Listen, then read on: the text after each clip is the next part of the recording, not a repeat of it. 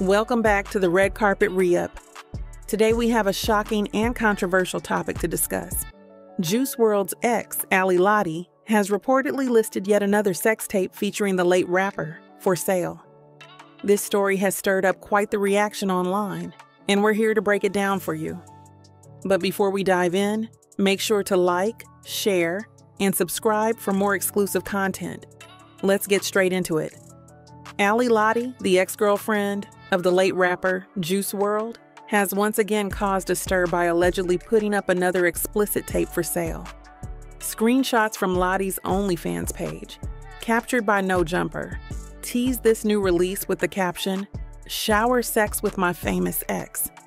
Lotti goes into explicit detail about their intimate moments, which has left many fans outraged. This isn't the first time Lotti has been in the spotlight for similar reasons. At the beginning of the year, she faced severe backlash for trying to sell another sex tape featuring Juice WRLD. She claimed she was being threatened by hackers to leak the tape and decided to take matters into her own hands by releasing it herself. The reaction from fans and the public was overwhelmingly negative.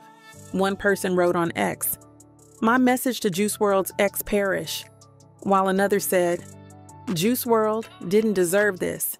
I knew she was a clout chaser. But that's not all. Back in March, Lotti made headlines again when she attempted to sell Juice WRLD's clothes. She listed items like a Supreme hoodie for $3,000 and Gucci joggers for $700, claiming she never wears them. She even tried to sell some of his personal belongings, which many fans found distasteful. Among the items were a Louis Vuitton bag and Chanel pearls, with prices reaching up to $40,000.